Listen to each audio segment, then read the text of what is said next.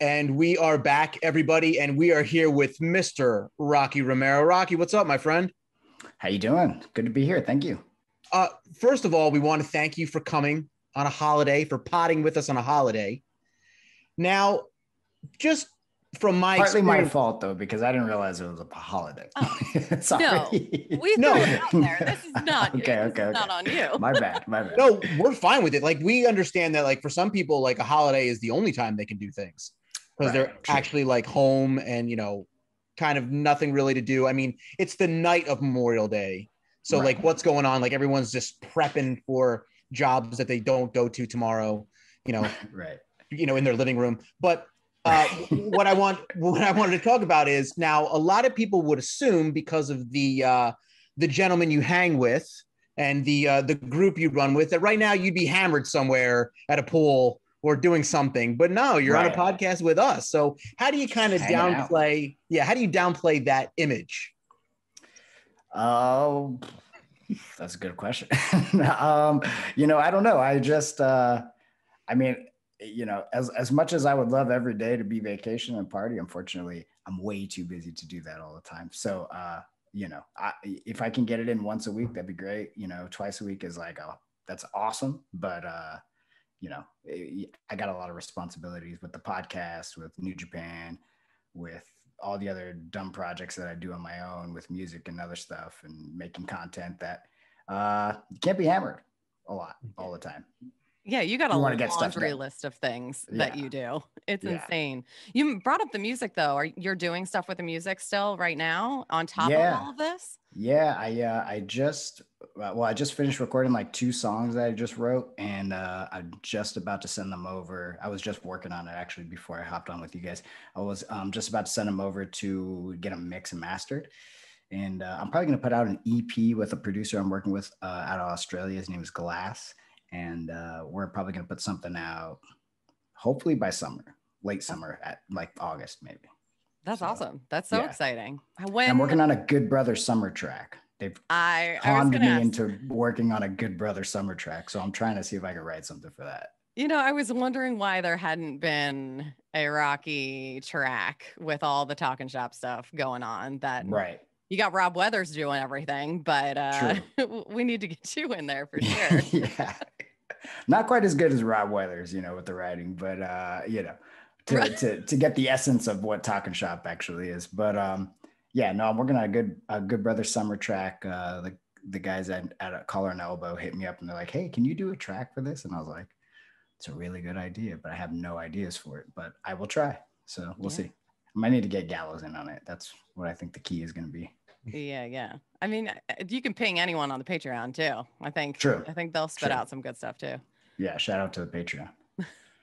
Is Love there that. any temptation when you do stuff like that? Like, okay, so you have a certain level level of notoriety. You're working with you know some producers, and as you get bigger, like maybe some of the offers from bigger people come along. So do you kind of hold on to stuff and wait and go, well, you know, I know these people now, but you know, when the podcast relaunches and something else big happens, I might know even more people. No, no, because I feel like if you like for me, if I hold on to it, either it, it won't happen. I mean, it's rare that I'll go back to a project, you know, and like once I've already started, like I'd, I'd like to get it done. And it usually takes with all the other stuff, it's just hard enough just to get it done. So like I really like once I start something, I, I, I'd like to get it finished as soon as possible, unless there's just like you know, like no creative spark to keep it going, uh, then otherwise I might put it on the back burner, maybe come back to it later. But I try to get everything like finished and, and done to and just put out. And you know, whether it works or not, and you know, I'm I have failures all the time.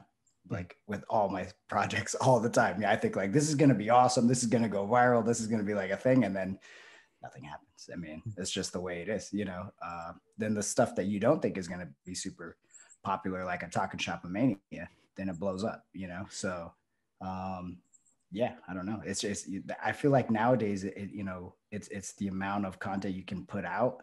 Uh, not only net, like it's it doesn't really matter necessarily how quality it is because you just don't know what's going to happen at that moment and what it's just what's going on in the world what's hot like something just might spark him something might hit and and you just got to go with it. Yeah i was going to say chris knows this all too well doing stuff for his thinking on your personal IG and all that stuff, where like a TikTok or Instagram reel that you put all this time into creating and you're like, oh, this is going to be great. And it goes nowhere. And yeah. then a quick 15 second video you record like randomly outside just on the just real quick goes yeah. viral selfie style and nothing into it and they're like what is why does this have so many hits yeah. Yeah. Nothing I, makes sense. I've done one where I've taken hours doing it. And then I did one where I was literally walking outside my front door and I could hear my neighbors leaving too. So I waited so I wouldn't bump into them. So I didn't have to talk to them. and then I like put the camera in my face. I was like, does anybody else just wait till their like neighbor leaves? And it got like 20,000 views and like 100 comments. They're like, yeah. Like I look outside the window and wait. And then I, I realized, wow, we are some antisocial motherfuckers. Yeah, we are not. Yeah. Don't even want I've to talk to anybody. I, it, it got like a hundred times worse with the pandemic. Like I didn't want to be around anybody, so I was like, uh, I'm gonna wait till like the whole block leaves, and then I'll come out. Yeah. Yeah. Yeah, it's. I had the experience this weekend at a show, um, singing in my band. That like people just don't know how to act in public right now. so, I don't know if when like yeah. people come back to these uh, shows, like when when live shows start coming back. Well, now we just had what uh, Double or Nothing with live uh, right. audience. Just how people are are adapting back to it. It it feels tough for everyone. Yeah, for sure, for sure. Yeah, I mean yeah i don't really know like what are the social like what are the new social like cues that we're supposed to go with? You know are like are we supposed to still trying to keep you know a certain amount of distance you know even whether you're masked you're not masked whatever i mean it doesn't matter. I mean like i don't want to be up on anybody. Like i'm, I'm kind of over all those days of, of, of being packed into something and being like you know, in, in, like a nightclub or something and lounge or something, and it's just like toe to toe people, and it's like, who wants to do that anymore? Like, I mm-hmm. feel like we should try to get away from. It. Let's start putting caps on this stuff. You know, let's yeah. have a good time.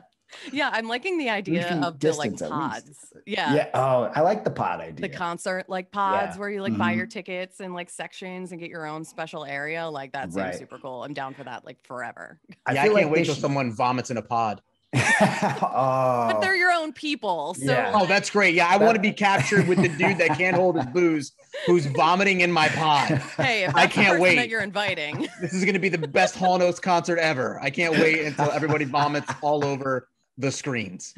Good point. Good point. I mean, it's going to happen to everybody at some point, right? It doesn't matter, you know. But yeah. uh yeah, I like I do like the pot idea. I think I think it's okay. Like charge us like a little bit extra so that you don't have to have so many people packed into the place. And then you you know, you feel like you're having your own party, your own atmosphere, your own kind of thing with among your own people, among a sea of people. But obviously it's not like just craziness and people in, you know, rubbing up on each other and stuff like that. I hate that.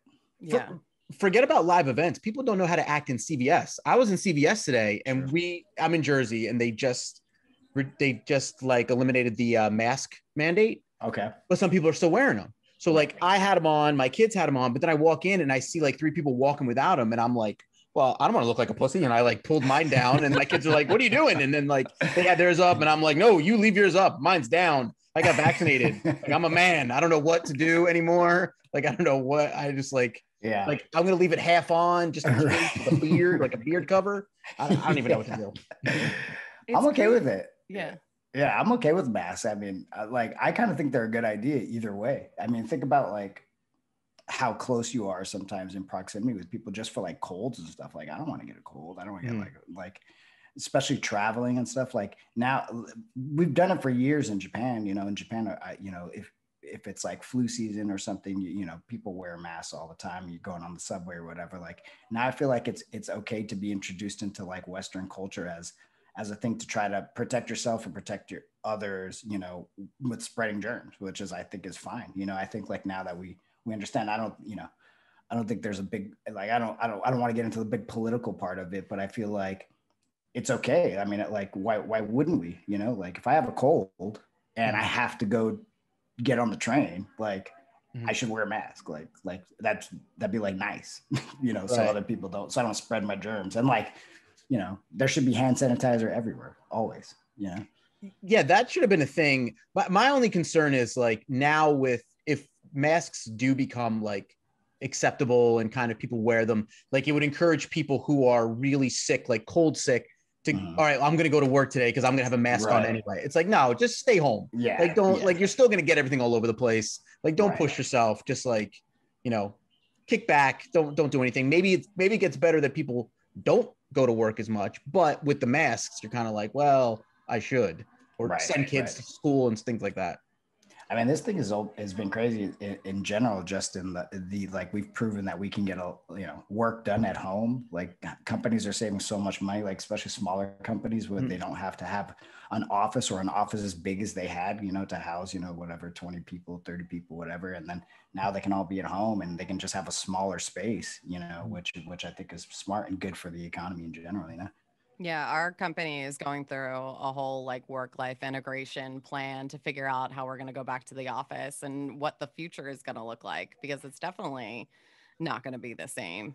There is Right. that flexibility worked into it now. Well, Rocky, one of your jobs you can't do from home. you Yeah, actually The main you- one I can't do from home, unfortunately. I'm trying to. I've been trying to figure out a way to do it for this whole. Yeah. How can we make that year happen? and a I half. cleared out my living room. I got a I got a ring in here. We're gonna have a whole show here. There's a bathroom. We're good. exactly, exactly. Like you know, like those mocap machines. Like I figure if they could just send us all a mocap machine, you know, we can just set it up in our homes, and then they can just like take our skeletons and make like Mhm. some cool 3D model of us, and then let us just go out there and go nuts. You know, it'd be like, it'd be awesome. Just Yeah. That'd be the Holograms way do- wrestling each other. too. Yes, yes. They made those work. That'll Tupac, work. yeah, Tupac, Rocky Romero looking thing. Yeah. So, Would what you- is the latest uh, with New Japan and travel? Because Japan's kind of what just coming out of their Yeah, I think they're gonna come out of another state of emergency emergency uh sometime in June, like early June, like the first week of June or something like that. So um they uh they just announced the Dominion show and card uh that'll happen on Monday in Osaka. But um yeah, Osaka and Tokyo are still a little rough right now with COVID cases going up, not enough vaccine it Mhm. seems like and uh so yeah i don't know what's what's going to happen in the long term hopefully they can get some vaccine and start getting it to people so at least start to lower the numbers um but uh yeah not able to get uh visas for new folks so that's why there's kind of a limited roster uh in new japan this year is just because they haven't been able to process visas since maybe last November or something like that. I was able to get one right before I went over, and um, so I don't know what's going to happen. Yeah, so hopefully, I, you would think with the Olympics that they would start opening the doors a little bit more because they're going to have to process entertainment visas and they're going to have to Mhm. process like athletes visas, but uh, nothing that I've heard of yet uh, for for our company just yet. So hopefully soon. So when you go over to Japan, like without pandemic aside, all that things, you, you, it's a different type of atmosphere, especially backstage at a wrestling event. There's like different protocols and rules, and you learn about them eventually. How does it change now with a pandemic? Like now, does somebody like keep you up to speed? Like now, you really don't go know people. Now you really Right. don't, you know. Uh, yeah, I mean, um, we, you know, the the usual, you know, meet and greets and stuff like that are have been completely eliminated. They're only doing them like virtually online. Um, I think like once every couple weeks or once a month or something. Um, so yeah, so I mean that that kind of completely changes the game. Uh, and then obviously the the crowd has been you know dispersed you know like they're they're you know they're either in pods or they're like every two or three seats or whatever it is so that's still going on uh, they have a cap on the audience um, there's certain rules too that that you know they were big on like no spitting no um, they were really worried about you know if, if anybody was bleeding then you know you should really protect yourself or stop the match. Um, you know we haven't had any issues really with that. Um, what else? They didn't want any fighting in the crowd which is kind of a new japan staple especially if you're a bad guy you know. Mhm. they would fight all over the buildings in Korakuen and all that so that's been completely eliminated. Um, so yeah, I mean, it, it's completely changed the game. Yeah, uh, in a lot of aspects. Did you see last night that uh, Kyrie Irving got a water bottle thrown at him after the game? I, that's like been a trend this last week, right? Because there was just the with basketball players. Yeah. Yeah, did you- somebody did you notice- over it. Yeah, did you notice that sporting events are becoming like wrestling events and wrestling events are being more like civilized? Like nobody really gets stuff thrown at them anymore. And now when you're at a basketball right. game, like people are chucking shit all over the place. Like how'd that happen? What is going on? Yeah, like like especially basketball players of all like like they're so a they're so close to everybody already, right? And they and they're just trying to do their thing. And there's like I, I can't imagine. And and what are they doing that really pisses you off that much that you're gonna throw something because somebody didn't make a shot or they messed up a play? I mean, mm-hmm. like you're just doing your best. You're you know like you're a professional athlete. You have so much pressure on you. The world is crazy right now. You're you know you're just trying to like everybody else. You're trying to win. You know, it's like yeah. why would you throw something at a professional athlete who's just doing their job? You know, the best that they possibly can the big thing that people always say is uh, i paid this much money so i'm allowed to express myself. That doesn't mean you can throw anything but like when they curse at people right. they even said that like the things people say are getting ridiculous. I mean okay. i do you often see that? You don't really see that at events do you? I mean i feel like i'm a wrestler. I have pretty thick skin so i'm kind of used to it. You know our job you know is you know entails you know trying to incite people to to have some kind of reaction. So um I guess for me, it's not a big deal, you know, mm. but but for maybe for an NBA player, baseball player who that's not their job. Their job is to play the game. They're not to involve the crowd. Uh, is probably very different, and especially in a high pressured situation like that with millions and millions of dollars on the line. Sometimes you know a billion dollars, whatever you know, depending on on how big the circumstances are. So. Uh, you know, for, whether wrestling is like, we want you to, the more you can scream and yell at me, like we, now we have a moment, you know? So, mm. um, very different. I feel like, yeah. Yeah. So Rock, what's it? It's been what, 21 years for you at this point in the business or somewhere around there? Why would you say that? I'm sorry. Why would you remind me? Yeah. Uh, yeah. Always yeah. like a woman. You oh, can't ask them age, but as soon as they want to talk age with you, they're like, what's it been? Like 23 hours, 14 yeah. or 23 years, 14 minutes, 13 seconds? 77, right? You're like, no, uh, um, yeah, about I, 21 years, I would say. Yeah. Uh, what I did learn is that from the beginning, you wanted to go to Japan. Yeah. Like that was yeah. always the game plan for you. What was it about Japan that you wanted to jump right to there? Because that's not usually the step the that people path, are taking, yeah. especially here in the US. Um, you know, I, I think it like I saw the first, I want to say I saw this, this saw the first J Cup and it kind of just blew my mind that there was like this, you know, packed Ryogoku Sumo Hall with like whatever, 10, 12,000 people. And everybody's like just watching what the people are doing. there and like getting popcorn and like doing it like like all eyes are locked in on this ring. And these two, you know, it was like Liger and like Eddie Guerrero, Black Tiger, something like that. And and uh, just like you know, they go to do something with two seconds, they put they stand up, and then there's just like like a golf clap applause. Like it was just so different that, and you could see like obviously they respected like what these guys were doing. Like these guys putting their lives on the line. They're like trying their hardest. They're in on it. And everybody's locked in on it, as opposed to um, kind of like sometimes, like you said uh, earlier, when, you know, I paid this money, so I can do whatever I want. And it, and it, I just, I don't know, there was something about that and, and wrestling and how I kind of felt the same way as like, I guess the, the Japanese fans did. Like I really respected what the two guys or, or, or two women were doing in the ring, you know? So I feel like, uh, I don't know. I just wanted to be a part of that. And then I started to read a little bit. I read like Dynamite Kid's book, and he kind of put it in perspective of like how much, you know, Japanese wrestling and how important it is to the culture and like how well they treated them. And and I was just like, why like and then I saw guys like Guerrero and Jericho, uh, you know, they travel over there and then they became bigger stars. They were able to move to, you know, WCW and all this stuff. So I figured just like that's probably the the route that I would go. You know, these guys are, you know, I'm closer to those guys kind of size than like a Hulk Hogan or something, you know, or or uh, somebody else in WWF at that time. So I just figured that's that's what I should do. And and and once that was the goal, I just kind of never looked back. And then I got there, I did my first tour, and I was like, this is awesome. This is everything that I've ever wanted to do. And uh, I, I just I would like to make a career here and just stay here if that's possible, you know not knowing that they were going to break into the US and all that later, you know? Yeah. Right.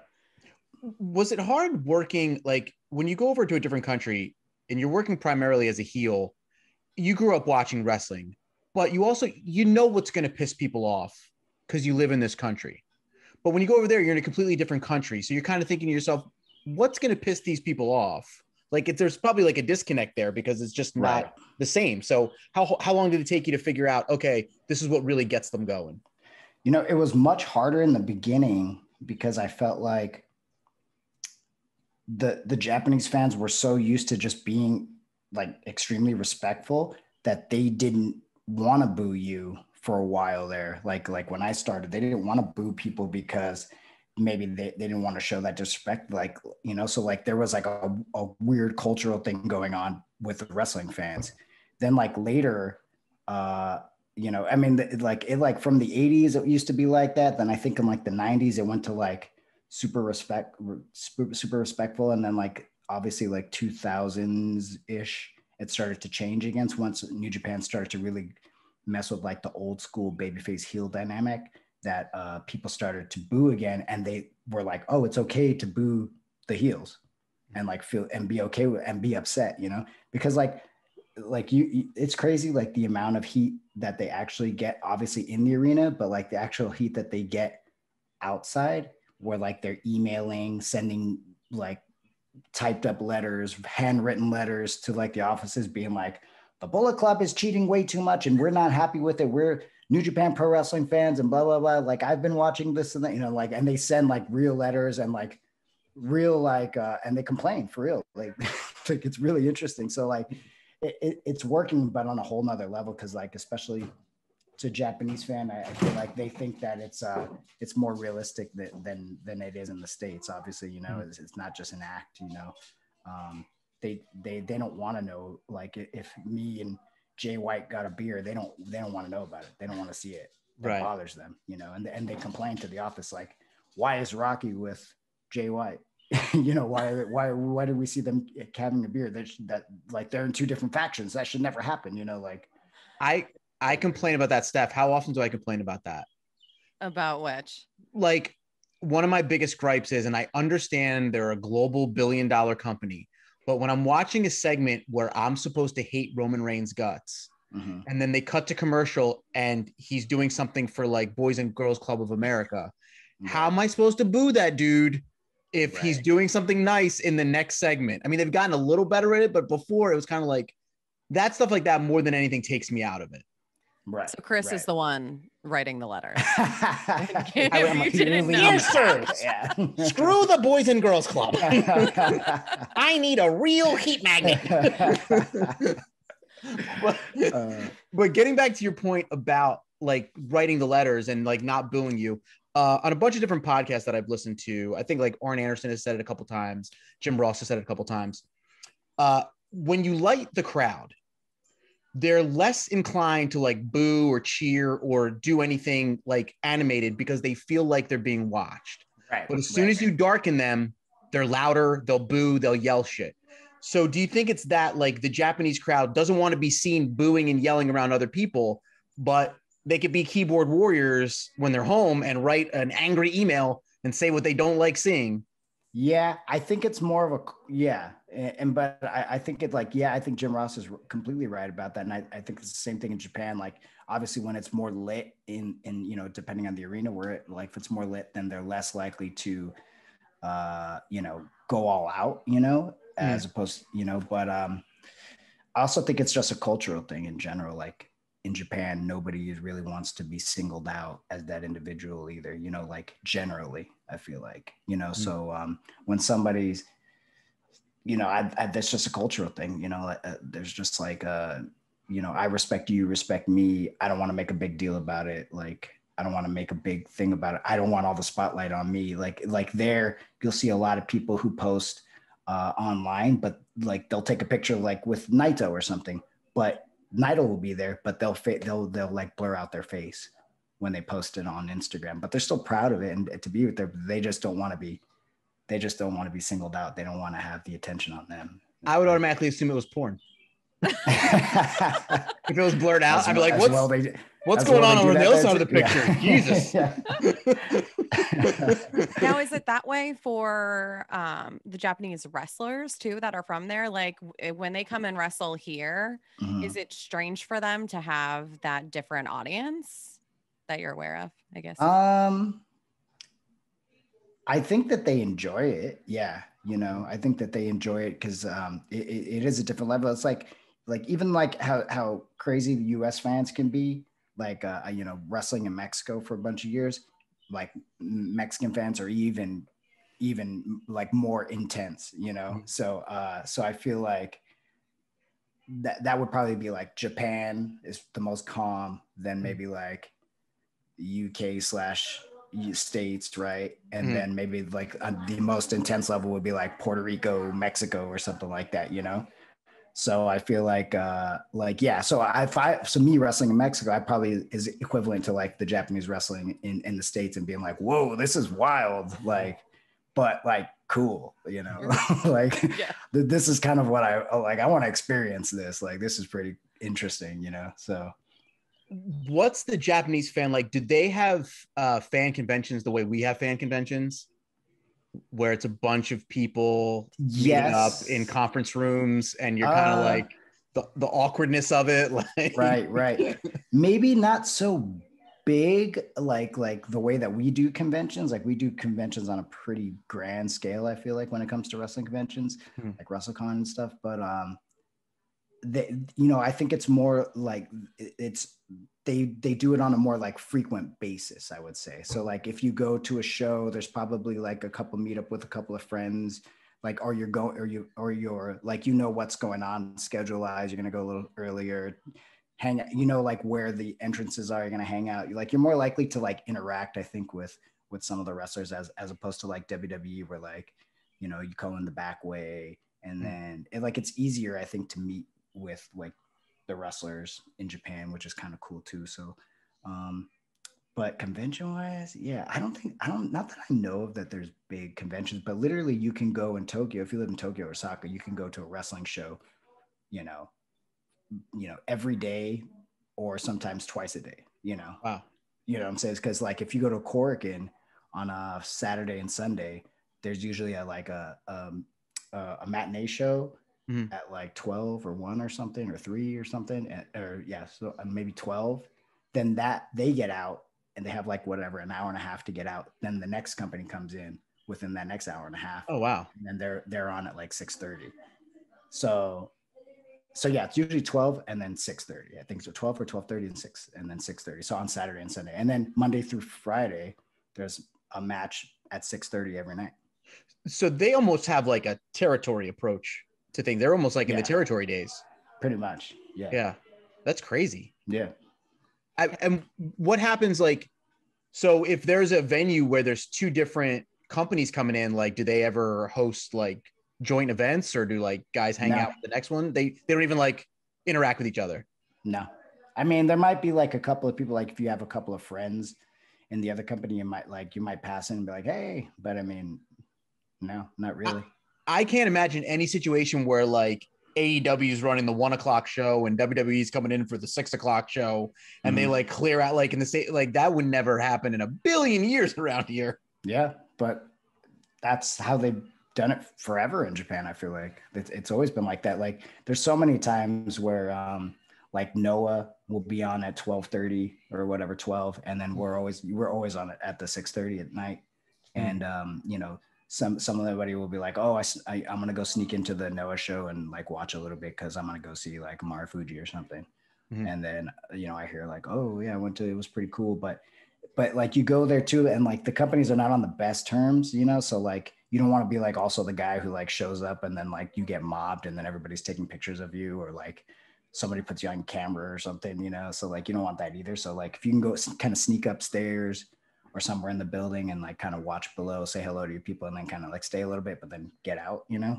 Mhm. that, that's always good yeah That was going to be my question if they kind of had the same dynamic of companies here or at this point just just one and the rest Yeah. of them because everyone is everyone else is uh, working together now. It's right awesome to see, but that's interesting they're kind of the same way with that. Yeah, yeah, but like, yeah, you like, so they like somebody did that with uh with somebody a couple years ago with WWE, right? Where they put them on camera or something at like I don't know, some independent show or something. And then everybody was like, and then I think they got in trouble with WWE. I don't know. I remember there was some kind of, yeah, but you don't want that. That That's does sound kind of familiar. I yeah. feel like there was also, I don't know if there was like well known shit, but I feel like there might have been some repercussions with Adam Cole and Britt. Like, I, right. I think when they were like parties. Yeah. yeah uh, after Brodie passed, and like, okay, they're going to uh, add, you know, like you got to leave them alone. Like, this is the kind of thing. But like when they're on camera together and like okay we know like people know mm-hmm. like they got to go live their life but i feel like that is going to be kind of frowned upon just because it's whatever right right enemy or however they look at it but getting back to so when you when you go over to japan um when you first start working you're under the hood right as black tiger is that uh, immediately i well no no i debut in 2002 uh from the original la dojo so me Bryan Danielson ricky reyes tjp and a guy named Jack Bull. Then we go over in 2002. We we debut, and then and then I don't go back for like two years, almost a year and a half or something. I go like they sent me like on an excursion to Mexico, mm-hmm. and then um, and then when I come back in 2004, I do a Super Junior, and then after that they they say, okay, hey, can do you want to become Black Tiger? And I was like, me? Are you sure? So, so how do they decide? Do they decide that because of a working style? Do they decide that because you've been gone for a while? How does that happen? I think that they they liked me. They didn't know what to do with me, right? And then this was the time of t- they had just signed Tiger Mask, and they were going to make him like the centerpiece of the junior division. And I think you know he and he's a big fan. You know he's a he's a, a, a student of the original Tiger Mask, so he wanted to do kind of like a similar situation where like you know he want you know he didn't have a dynamite kid but he wanted uh you know like a black tiger you know? So um i think it might have been him that maybe suggested it possibly. I think mm-hmm. he might have been like oh what about rocky romero would be great. You know he's young you can do this blah, blah. and uh and then they asked me and i was still confused like what? You want me to do that? You know like really good wrestlers do that like eddie guerrero silver king mark rocco like really really accomplished wrestlers You're like want me? And they're like yeah. And i was like okay. So then I, I, I tried to take it as seriously as possible and i you know i wanted it to be as close to the original because i i figured that's what what he you know tiger mask was thinking. So uh they came up with the the idea that i was going to be a student of the original black tiger. And then so like i started w- talking with like weird british accent terrible british accent you know, because nobody knew it was me, right? So, uh, and then I started to um, to just wrestle exactly like Mark Rocco did. Like I studied like hours and hours of tape, where looking for like those little mannerisms, like the way he would like adjust his hood and like all this stuff, and like the way he would walk and then speed up and slow down, and I just tried to like mimic all that.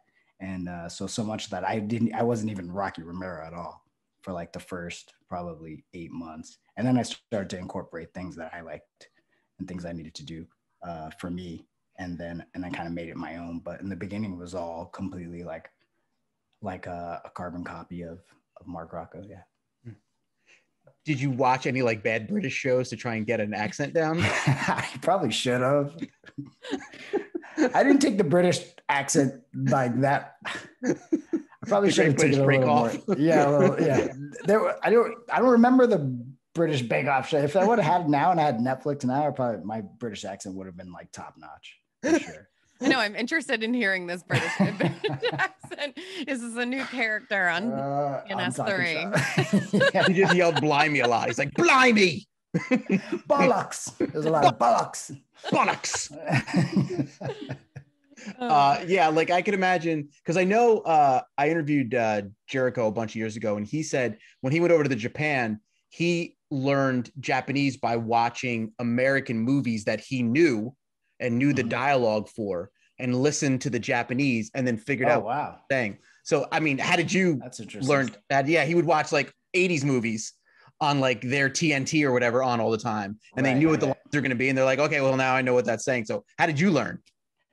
Um, well, I, I should clarify that I, I don't speak. You don't speak okay. Japanese, but I like, I know enough to get me around in daily life, mm-hmm. like generally, you know. Mm-hmm. So like I can order food, I can tell you how many I need. If I'm ordering for a group of people, I can do that, you know, mm-hmm. like I can do that.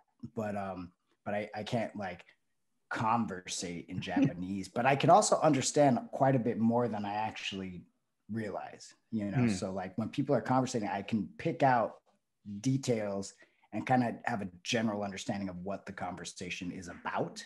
Mm-hmm. But you know where where people are like on the sides of the conversation, that's a little more difficult for me. So, um, but um, just just talking to people and and and kind of like I, like I tried to study, like actually do it, and you know I was a terrible student even worse like on my own trying to teach myself how to you know do stuff like languages and stuff that's difficult. So um so i just kind of like talked to people and like learned words and like nakamura helped me out a lot. Like he would teach me like some words and things like like a bunch of the phrases and catchphrases i have they're all either from nakamura or okada. And uh you know so like they've kind of influenced me a lot. And then they do the same thing. When okada's like oh, I want to put out a tweet in English. He's like, does this sound right? And he'll give me like his version of like, okay, this sounds a little strange, but how about you do this and this and? He's like, oh, okay, great. And then he'll put it out, you know? So, um, uh, so yeah, that's kind of like, like how just kind of conversating, talking to people and asking questions. I always like, I'm kind of fascinated by the Japanese culture in general, like I always have been. So it's easy to ask questions and kind of like remember things from there, you know? There's no way I'd be able to do that. I there, I could I could not. I would I would be completely clueless out there yeah. with anything. And, and, you are in the beginning, but just like anything, the more familiar, the more time you spend there, the more you you kind of understand. Like everybody in some kind of way understands, you know, some basic words. You just you just can't get away from it, you know. Mm-hmm. I, I'm gonna assume either Nakamura, somebody screwed with you and told you to say something that wasn't correct, like you know, they kind of ribbed you and they were like, yeah. Well, so, so what, what did they actually tell Probably you? you know, I'm sure you don't remember the Japanese, but what did they tell you that ended up being in English? uh, I mean, I don't know. I can't. Like I can't balls smell like cinnamon or something. Yeah, like yeah. There, I don't even think I should say it. but like, I remember being there like the first like year and and going to um like to dinner after like sponsors and then you know, Shinsuke being like, I'm like, oh, Shinsuke, how do I say like this, this, this? And he'd be like, oh, like this. And then he like tells me, and then I like say it to that. And then everybody just breaks out in laughter. You're like, I guess and I'm like, it. am I cute right now? Do you guys think I'm being cute or like, like what's going on? Did I say it wrong? Did I say or it wrong? did you tell me something that I shouldn't have said? Right, right. And then like Red Shoes Unno would be like, Rocky, you can't say that. You can't say that. This is Japan. I'm like, what? and did he fess up that it was him? Uh, yeah, no, everybody had a laugh about it. it oh, okay. All, yeah, it was all good. Yeah. It was all one big rib. Just checking. yeah, ribbon on the square. So, uh, how did you make the transition over to Ring of Honor? Uh, so yeah, ROH was kind of so. I think once I I debuted in Japan, I think ROH came around like 2004 or something. I want to mm. say 2003, 2004. And uh, so they, they had just relaunched the company, and, and, that's when Cary Silkin had taken over. And then they brought in like all kinds of new talent, uh, like Delirious and I think Alex Shelley and like everybody, like uh, Tyler Black, everybody. So um, I was just kind of a part of that that squad. So I started with them, and then I ended up signing like a a contract with them, but it, it wasn't uh, exclusive or anything. And then so I was able to do Japan and still go other places. And then I just kind of like always had a connection to Ring of Honor because basically it always been like, well, when you're not doing Japan, you know, come work for us whenever you can. So I just kind of did that for years and years and years. And then that was kind of how the ROH New Japan relationship just kind of worked hand in hand because New Japan didn't have a partner in the US at that time. And Ring of Honor was starting to really grow. And, you know, the Bucks had just signed with Ring of Honor and it just kind of all made sense. You know, we were already using the Bucks a bunch. So, uh, so uh, I went and met Tiger Hattori in New York and we had an, uh, we had a, uh, a meeting with uh, Delirious and Kevin Kelly at the time because Kevin Kelly was working there. And, uh, and then we just kind of put the partnership together and then kind of helped each other, you know, and went all the way to, you know, MSG and I don't know, the rest is history. I feel like, yeah. yeah. I was at that show. yeah, it was an incredible show. It was wonderful. Yeah, that was my first uh, New ja- New Japan experience, actually seeing them live. So that was it was such yeah. a cool thing to be a was, part of. That was crazy. It was crazy yeah. to be wrestling in MSG and seeing Okada and Jay in the main event and like Ibushi and Naito, it's like, what is going on right now? This is insane. And yeah. The crowd was insane. Yeah, it was unreal. Unreal. Every New like all the New Japan guys were like mega stars. It felt like even I got a huge pop, and I was like, the music hit, and I was like, what is going like? I don't know what's going on. Like, I'm just a job. I'm just a jobber in New Japan, you know. Like, hey. now, did that set up um, New Japan Strong? Was it that show that kind of set the tone for that and what that was going to become, or was that already in the works? So, kind of New, New Japan Strong wasn't in the works like anytime soon. I feel like.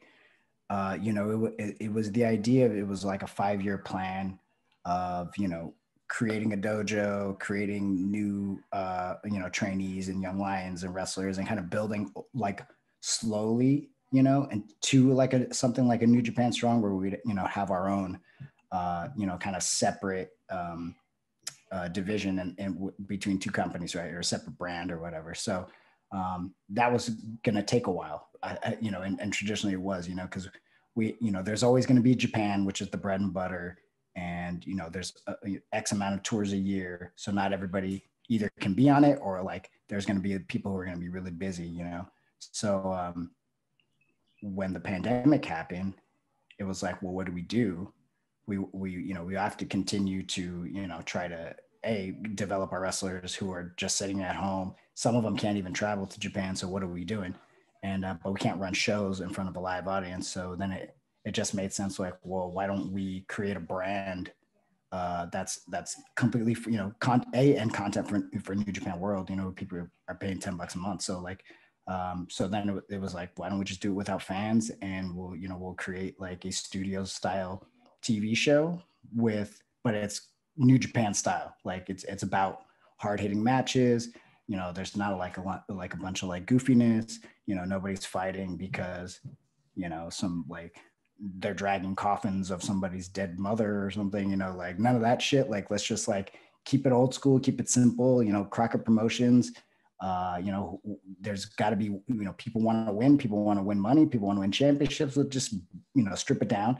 And then, and that's kind of how New Japan Strong was, was created. And um, I feel like the first maybe like eight months, what was difficult because it, it was such a new concept for Japanese fans and then American wrestling fans because it wasn't the traditional New Japan way uh, of doing things. But uh, I, I, think we've really hit our stride, and now that our wrestlers are, are more they're familiar with a lot of the new wrestlers like Tom Lawlor and you know Dickinson and all these guys, and um, now I think it's like really hitting a stride, and it's a pretty dope show. I think I think it's fun to watch and easy to digest, and it's you know usually less than an hour, mm-hmm. um, so you don't have to like it's not a major commitment, which is hard about wrestling right now because now you have to commit like seven hours a week of to watch wrestling.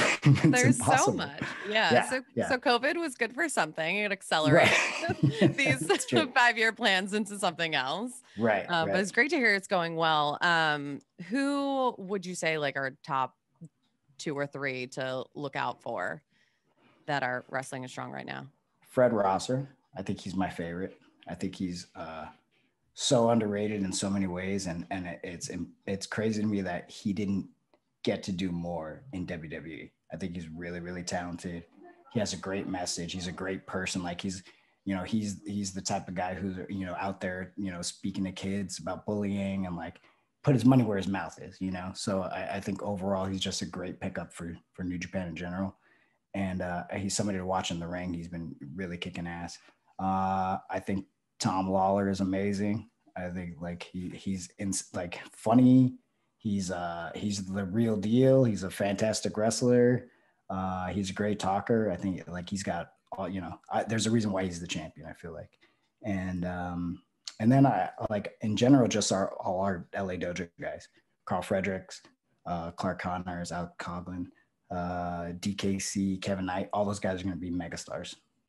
Now, did they come from any other indie promotions or just straight into the dojo?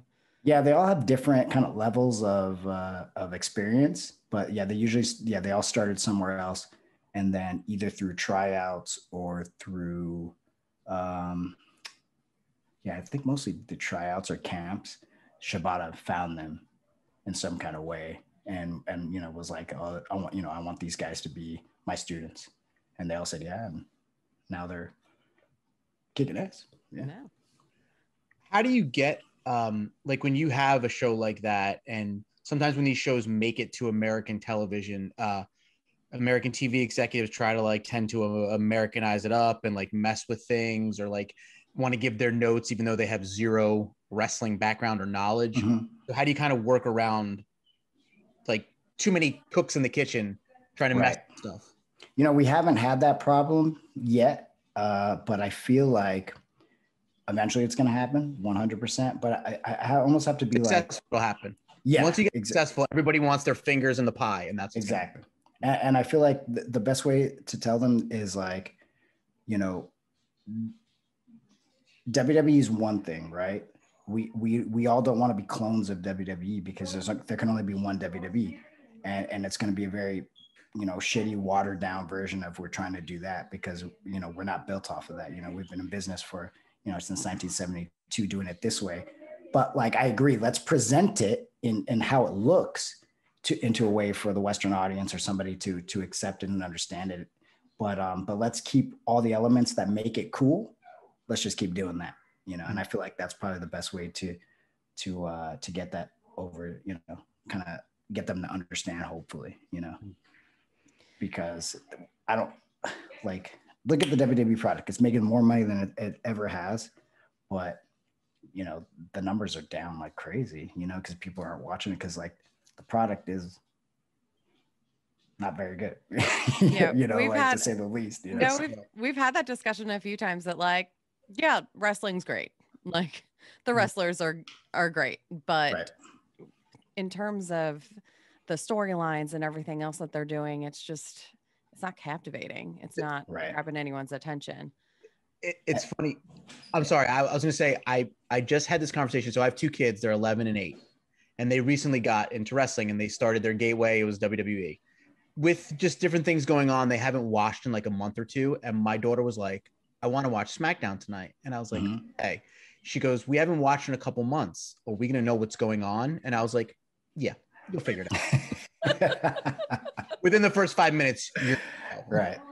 Right. And it's just See, like, like, yeah. And like society has changed a lot, right? Like we're used to like Netflix, you know, long, you know, like storytelling series, you know, stuff like that. Like a lot of us have really come to enjoy that. So like you kind of have to have a mixture of both. You also need to be able to pick up at any time. Like if the kids say like we haven't watched in months and like like your situation, and then you pick up and like you kind of you got to understand what's going on. It can't be like you know you're season three of, of Breaking Bad and you're like what is going on? Wait, who's Walter White? You know, so mm-hmm. but there's got to be a good mixture of that. I feel like. um like I, I, that's why I do think New Japan is so simple in its formula that it doesn't matter where you pick up, you can easily understand. Oh, like oh, these two are fighting. Okay, cool. Oh, this guy's the champion. So who's the challenger? Oh, he's always on the other side in some kind of way, right? So okay, there's the you know there's the challenger. So like it's not too difficult because really the only thing that matters is being the champion. It's the mm-hmm. only thing that matters.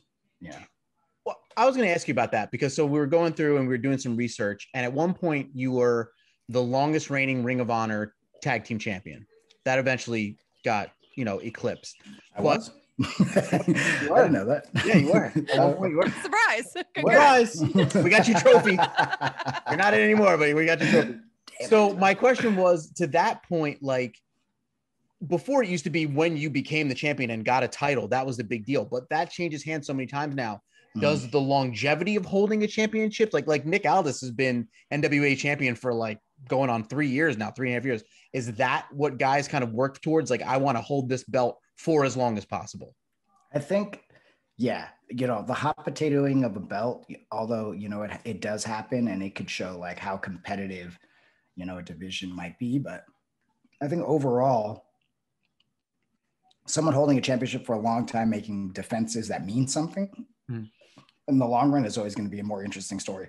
Look at like the Undertaker and the Streak, for mm. example, you know, and like how much controversy that created each year. How you know when when he finally did lose, what a big deal that was, and what a moment it was. Like everybody can tell you that where they were, what they were doing when the Undertaker lost. everybody get, you know, who, who watches wrestling religiously or at least watches WrestleMania. Um, so I feel like that is the great example. Like maybe that's a little bit, you know, 20 something years or whatever, 19 years or whatever it was, might be a little too much, but like, uh, you know, for somebody to be a champion. But I feel like, yeah, a year, you know, some, you know, and like the Okada run, I think was the perfect example of that. Like Okada had that like year and a half run or whatever it was, where he made like, he was just like incredible match, incredible match, incredible match. Kenny, Kenny, then blah, blah, blah. Then finally Kenny beats him for it in that, you know, hour and a half long match or whatever it was. And it's like big deal, you know? So uh, I think that's a great example of like modern uh, storytelling, you know, from, you know, from a champion's perspective, you know? Mm-hmm. Yep. Big fan of long-term storytelling over here. Yeah. Yeah. It's um, important. Yeah, absolutely. Um, kind of speaking of full circle for you on your AEW Dark Elevation debut, uh, that Roppongi Vice reunion at the end got a lot of people popping and talking on Twitter. So right. how was how was that little reunion with? It was awesome. It was awesome. Um, you know, I, I, I want to do more. I wish we we can do more with with Trent, or at least with uh, the whole best friends as a group. I mean, I'd love to work, work with Orange Cassidy in some kind of way. I've never done that, so that'd be really cool. Mm-hmm. Um, and and uh, I think it just kind of shows also like the New Japan AEW dynamic and where the relationship is and where it possibly might be going. You know, obviously, it, it's a relationship that that uh, is complicated. You know, over so many years, it was it was extremely complicated when you know uh, the elite left and you know Trent left and Chuck left at the same time all together. So um, it was weird, you know, for a few years. But um, now with the pandemic and some management changes within New Japan, that door has kind of been open, you know, and and we we've seen some really cool collaborations, you know, uh, with kind of Moxley and Kenta and Omega and you know Nagata and now Roppongi Vice, maybe you know, on a on a on a you know, we, we like it's always been about Dynamite, so it's kind of cool that it's like Dark Elevation, you know. So that might be something different. Maybe it'll be on Dynamite. Maybe it'll be on something else. You know, I don't know. You know, we'll see. Rampage coming up. Rampage, yeah, that's a possibility. You know, and, and especially as they, you know, they're growing and they get new shows and stuff like that, which is awesome. Uh, you know, who knows? You know, maybe maybe that's a you know we can get more strong talent. You know leo was just uh, on last night uh, in the uh, the battle royal. So uh, that's pretty cool. He was the joker right? Yeah mm-hmm. came yeah, on as the joker. yeah so he's a new japan strong talent you know. Uh, another guy to watch for sure. Yeah I mean, we'd be remiss if we didn't ask. Last week, there was a rumor floating around about WWE and New Japan. I mean, is it a rumor? I mean, as much as you can speak on it as much as I can speak on. It.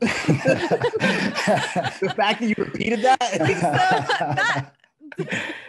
uh, I mean, what can I say? I mean, you know, like like th- this is the thing. Everybody talks. You know, what I'm saying like for sure. You know, all the companies talk in some kind of way, in some some kind of form. So, how much you want to believe or how much you want to get into it? I mean, uh, you know, I, I I shouldn't say much more than that, but uh, you know, like it's possible that there could be some truth that's possible that it's all a lie. I really like, like, or like it, you know, like, I don't know. Yeah. Well, I'll make it a little bit easier for you, so you hmm. can't kind of, so you don't, you know, please, yeah, I'm drowning.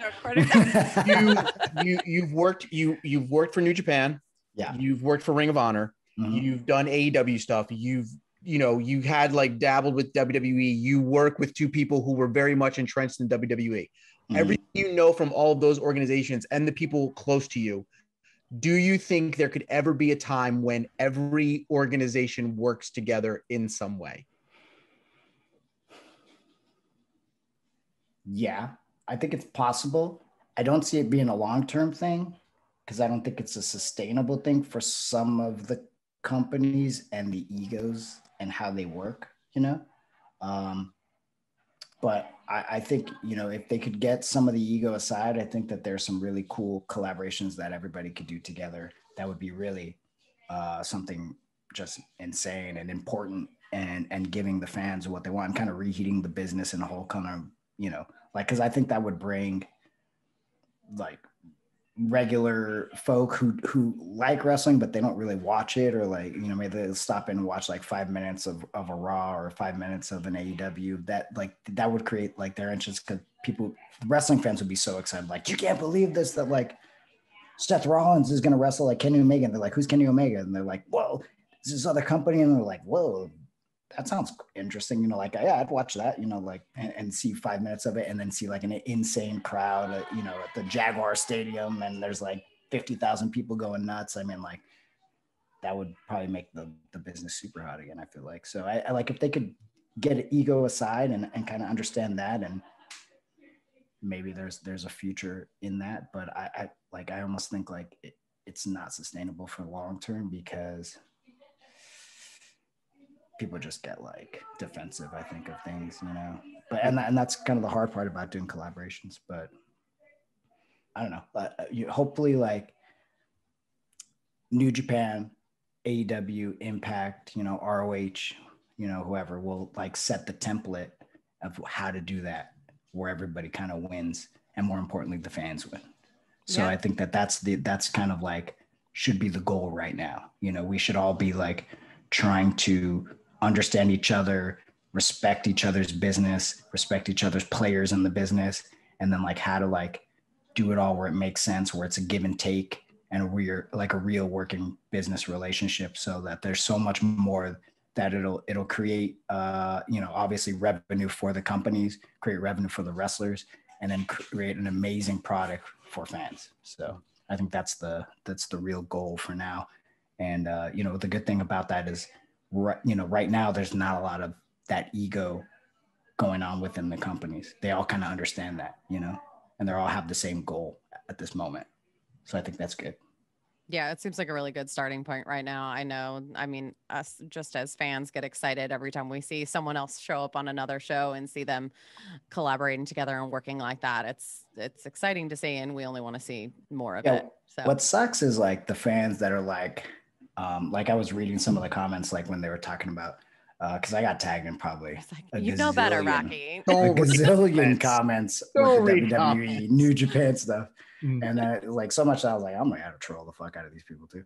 so, um, uh, but I, but like they were like, um, well, like what Narita, Rocky Romero, Nagata, Kenta, like are those names like like if they wanted to make a statement, it should be like Okada. It's like and then there, thank God there's some great fans out there that were just like, you think Okada has time right now? Like he's he's a like he just had COVID. He's like doing this. He's like doing that. Like like I'm sure these are all the building blocks. You know what I'm saying? Like these are the building blocks to tell like what is the point of bringing Okada over if like he's only can wrestle in front of you know 2,000 people? You know like what is right. the point of that? Like why wouldn't you wait until there's like they can put 60,000 people in a, in a stadium? You know like uh, you know, and this is just kind of and and really nobody knows. I mean, like like like I said, like the AEW New Japan connection uh, uh, and relationship is was an extremely shaky one from the start. You know, like you know there was a lot of uh, you know hurt feelings on both sides, and and it wasn't easy. And like to get where we are even now is has been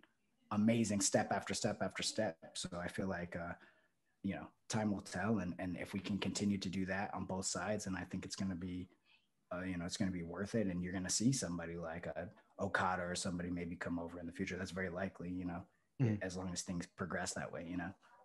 Yeah.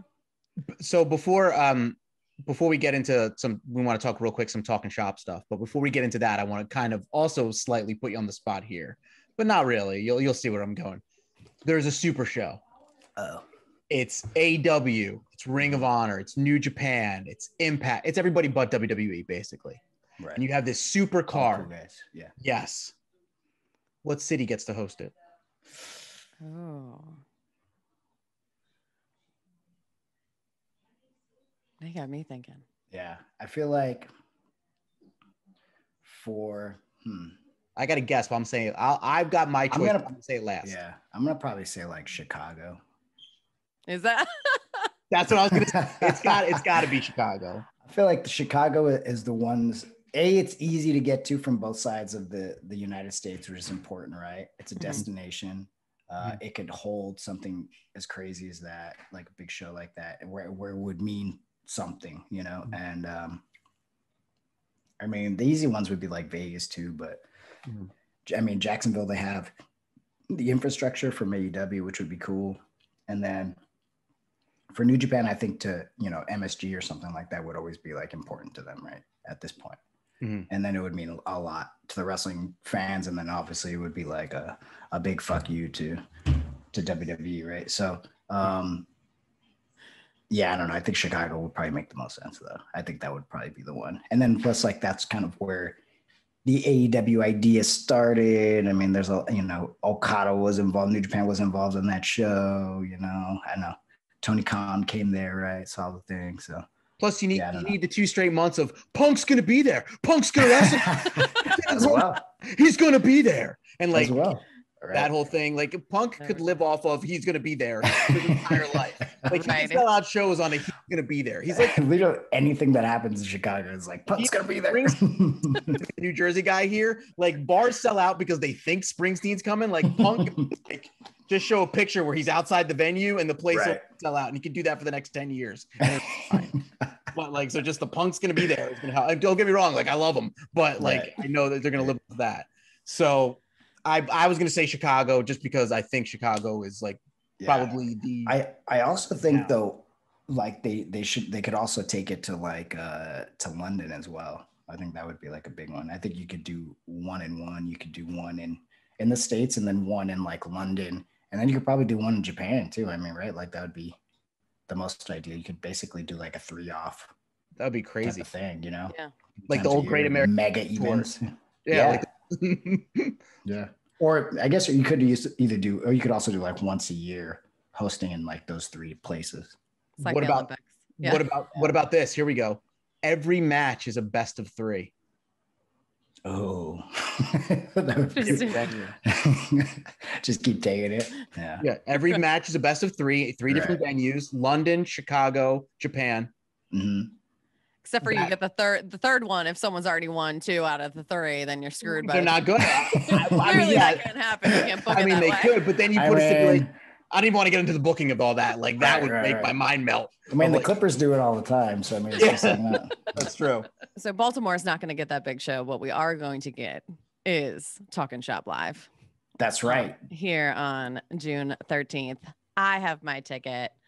I'm stoked super excited. We got all the Patreon folks coming in, which is exciting to begin with. So, uh, yeah, if you want to fill us in on just what what to expect from that, or what shenanigans are going to happen. I mean, I mean, it's it's basically so we we've had this Patreon community for just over a year now, right? So, mm-hmm. um, now you know we we built this community. We started doing these things called boozing with the boys twice a month, where you know we we would interact with everybody on on patreon to basically be like a big zoom party right every every week or every other week or whatever so we we've made this community we made this family we've been talking to each other and for this this whole time through this this crazy you know pandemic and then now we're finally gonna have the big like blow off feud you know it's gonna be like we're all gonna get together and have like in person which is insane and like just weird and crazy and uh, and we're actually just we're gonna we're gonna have a podcast. We're gonna have uh, some special guests, uh, and then there's probably going to be a lot of drinking and smoking of CBD and yeah, yeah, all the CBD up, all CBD up. Yeah. Oh man, yeah, it's gonna be uh, awesome. Like I'm oh, really excited for it. Yeah. For sure. Yeah, I've been a member of the Patreon for a year right now since probably I think since the beginning. I think I've been in boozing with the boys since since the start. So anyone listening, like that, if you guys are not a part of this, it's 100% worth it. Chris, yeah you need in on this. You're missing out. I know. I, I tell you every time. You tell me every time, but then you like recap for me, and I feel like I don't have to. It's like why watch the movie when someone tells me all of the ending? I, I give you what I can give you. What happens right. in the Patreon stays in the Patreon. This is, this is the truth. Yeah. It's yeah. There's it's pretty wild. yeah, we don't we don't tattle. well, what I was gonna what I was gonna say is um I don't like to say like it's always terrible to say with like the pandemic, like good things come out of the pandemic. But if you're not home, this, you know, if you're not going anywhere, this doesn't happen. No. You know, there right. there is no boozing with the boys. There is, you know, like it's because mm-hmm. everyone was home and you decided, okay, we're all gonna lose our minds. So we're gonna do this thing where we just all drink on a Zoom call and Yeah. then it turns into this thing so it's kind of like something good did come out of it Right, right. No, yeah, one hundred percent. And and my wife and I talk about this all the time. Like whenever we're now we're like obviously like we're starting to meet up with our friends and stuff in person, you know, that we haven't met up with in a while. And uh and it's always like a re- like that's the the conversation you have. I feel like with everybody when you haven't seen them is like, well, what's been going on over the pandemic? You're like, mm. like where are you at? Are you are mm. you know are you are you doing well? Are you not doing well? I mean, like there's there's two sides to it, right? And and it's always mixed, you know. So but like one thing that we always say is like, yeah, we, you know, we started the, the podcast a couple weeks before the shutdown, and then the guys got fired, and then it just spiraled into this whole thing. And then like now we have this podcast that turned into this Patreon community. You know, we're like this little family. We hang out, like everybody knows each other. You know, like now we even have like, uh, you know, we have patrons who are making content for the other patrons. So like it's really cool. So it, like it like I don't know, it's, it's just we wouldn't have had it with you know with the pandemic. There wouldn't a there wouldn't have been enough time. Nobody would have had time to do anything and like set it all up, and nobody would have. And who knows if they would have if folks would have even showed up for boozing with the boys. But um, I mean, like I remember that first one was like hundreds of people. Like, Oh, yeah. well, like it was like so many, you know, and then it kind of like dwindled down to like like the core group of people. But like in the beginning, it was just like like we had Jericho in on like the second or third one. I feel like he came in. Yeah. And Big pop there. some, yeah, yeah. AJ was on one, right? Yeah. Oh yeah. I forgot about AJ. AJ, on, Ethan yeah. Page came and sat in on one for the entire. I think he's the He only couldn't believe it. stay for the whole time. he was like, "What is?"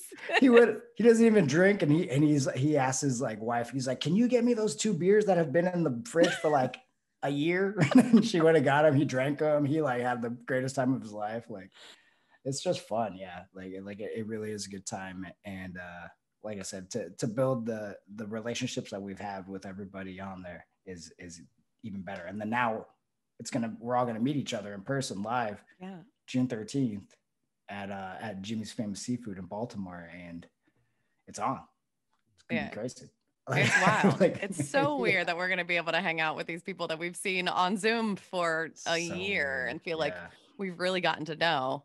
I mean, Yeah. hanging out with Rocky After Dark, hanging out with you, and Oh, everyone yeah. sending you shot glasses and all the like. man. We really, I mean, yeah. as uh, on the other side of things as a Patreon, like we really feel like we've gotten to know you guys on a on a different level that we wouldn't have been able to uh, Right. without this. So it's it's been really really cool. Um, aside from just creating these lasting friendships within the group.